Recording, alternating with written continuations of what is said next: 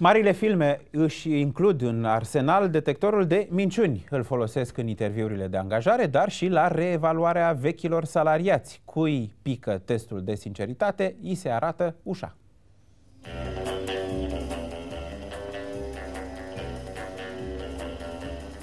Ați dat vreodată informații secrete ale companiei altor persoane care nu aveau dreptul să recunoască?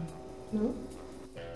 Faceți cunoștință cu expertul Adrian Coman. El și aparatul lui au rezolvat cazuri care pentru unii erau o adevărată enigmă.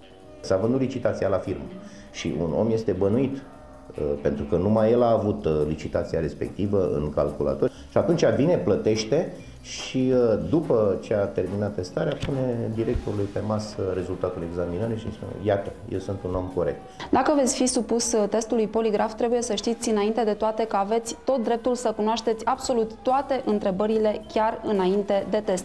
De asemenea, dacă în timpul uh, testului simțiți nevoia să-l întrerupeți, aveți tot dreptul să o faceți. M-am confruntat cu furturi de bani din firmă în sediul din București, Furturi de bani care uh, erau luați uh, din poșetele colegilor, de la agenții de vânzări care își lăsaseră banii pe birouri sau chiar din casa de bani. Am trecut din nou după aceste explicații, după ce am făcut și eu testul, la colega în cauză. Din păcate a refuzat să facă testul, dar a venit cu demisia. Din momentul ăla nu au mai dispărut bani în firmă.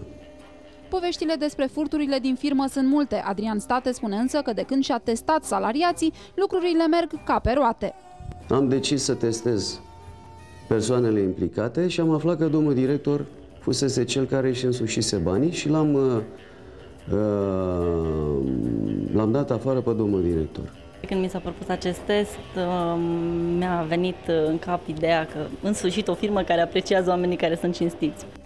O astfel de expertiză poate consta între 90 și 250 de euro, în funcție de numărul de suspecți supuși testului. Statisticile spun că în peste 85% din cazuri cei bănuiți nu sunt autorii infracțiunii și că persoanele de încredere sunt de regulă cele care nu trec testul.